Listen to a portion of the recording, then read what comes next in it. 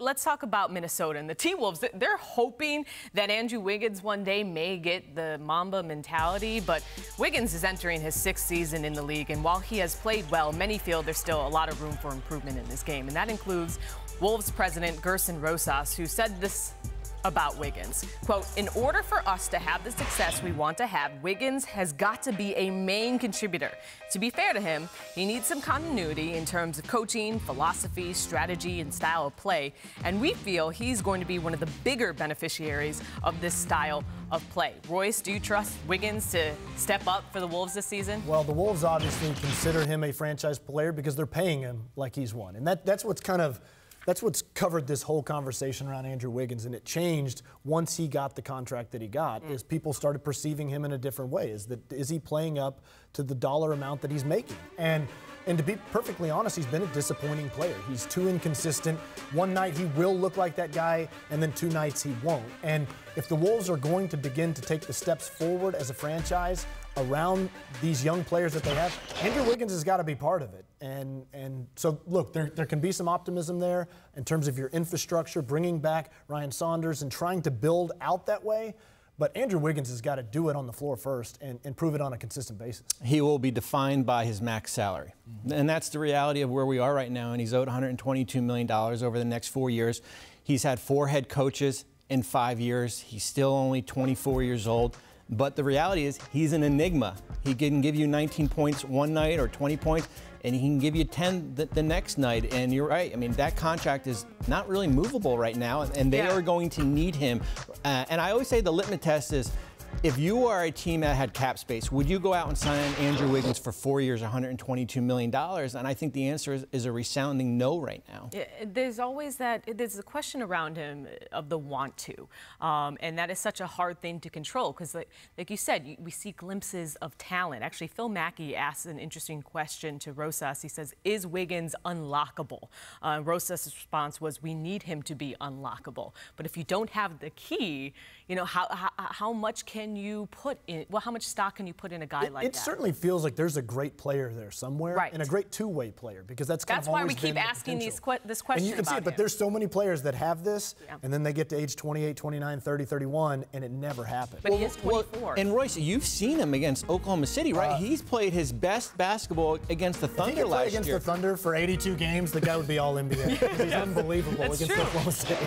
But look, he's 24 years old, and this should be the peak of his career. So we will see now that it's a little bit stable with Ryan Saunders there. Um, you know, we'll see if he can produce. Now, while the T-Wolves are working towards another playoff appearance, the Thunder, they're in rebuild mode. And a piece they hope to build around is Shai Gilgeous-Alexander, who was one of the main pieces in the Chris Paul trade with the Oklahoma City Thunder. The second-year player, though, says he's not feeling any pressure to fill in for Russell Westbrook.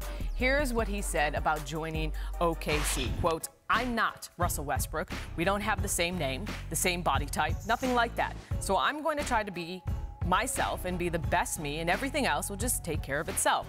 Bobby, given the expectations uh, that have shifted with OKC trading away basically two All NBA players, what's successful season for the Thunder? Well, the successful season is building off of what an all you know rookie year. He's he's only 21 years old. He averaged you know 10, 5, and 5 in in um, LA last year. I think he's got a valuable mentor in Chris Paul. As long as uh, we don't know how long Chris Paul is going to be there, and here's a player that was close to untouchable in Los Angeles, and they did not want to put him in that Paul George shade. That was kind of the last piece to be added there. But the reality is, this is going to be a lottery team. So it's got to be as far as do not fall into the. We always see young players fall into bad habits when they go to teams that win 25 and 30 games. And I think he's got to kind of continue those habits that he had in, in Los Angeles with uh, when he played under Doc Rivers. I think it's really smart for him to temper expectations and make sure that the fan base understands I'm not that guy. And I know that you know it's kind of easy to laugh about saying I'm not Russell Westbrook. We don't have the same name, which is obvious. We understand that. But for, for people that have shown up to that arena and watched Russell Westbrook for a decade, mm. and the style of play that he brings, and the excitement, and the energy, and the emotion, the tenacity, all those things, Shai Gilgeous-Alexander, in basically every sense of the word, is a different player. He plays differently, he has a different demeanor, a different skill set. And for him to kind of try to distance himself and say, let me be my own guy, let me develop at my own pace, I think that's, that shows a sign of maturity from him to kind of understand that it's smart to distance himself from Russell Westbrook. Right, and draft picks are hard to chew on. Okay, so I mean, you're in OKC. What is the talk around fans about what they expect out of this season? You know, I think that there's there's some cautious optimism, especially with the front office and the coaching staff. They feel like they could be in that playoff conversation. And it's kind of hard to wrap your mind around that, having them having uh, the fact that they traded away two All NBA guys. But Chris Paul, Danilo Gallinari, Steven Adams, Shai Gilgeous-Alexander, Terrence Ferguson had quietly a pretty good year last year. Dennis Schroeder. There's a core of a pretty good team there.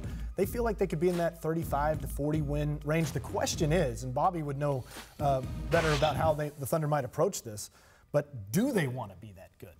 Like if, if they get to the trade deadline and you've got Danilo Gallinari, who's a, an expiring contract, and you're on the fringes of the playoff conversation, do you want to remain that good? I think that the, what you what you do is you use a 25 to 30 game sample the first years. You get to January one.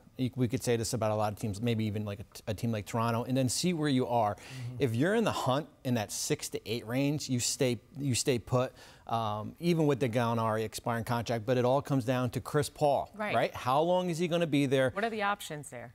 None right now. I mean, really, the only option is Miami down the road. And, and if you're the Heat, that basically takes you out of two, the 2021 free agent class when they get another crack at, at getting a player to, next to Jimmy Butler. So I think I think Chris Paul is going to be there for the for the season, and it's and you are still going to be a competitive team, but you don't want to be one of those teams that are going to be picking 12, mm-hmm. 13, 14, or maybe maybe now with the lottery changes, yeah. maybe you do. No, it may not matter. As much as Shai is tempering expectations, he's not Russell Westbrook. I think that fans in OKC should also temper their expectations that they're not going to be a playoff team in the West. But look, stranger things have yeah. happened. Thanks for watching ESPN on YouTube. For highlights and analysis, check out the ESPN app. And for live streaming and premium content, check out ESPN Plus.